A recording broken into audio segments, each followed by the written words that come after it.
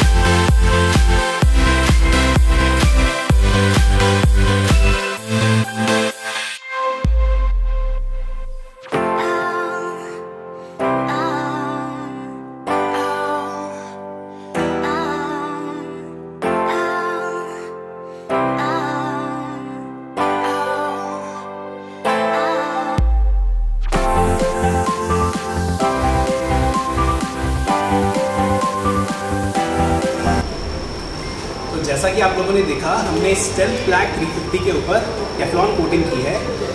Normally matte finish colour में लोग Teflon coating नहीं करवाते हैं। बट ये जो ओनर हैं इस बाइक के राइडर बॉय जेफ ये मोस्टली राइड पे जाते रहते हैं और इनको स्क्रैचेस से बचानी थी अपनी गाड़ी, इसीलिए इन्होंने टेफलॉन कोटिंग करवाई।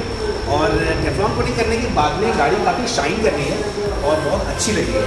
तो आइए हम पूछते हैं जेफ से कि उनका एक्सपीरियंस कैसा रहा था बाइकर्स तो hello every everyone I am rider boy जैब तो भैया की शॉप पे आके बहुत अच्छा लगा और इन्होंने गाड़ी का काम भी बहुत अच्छे से किया।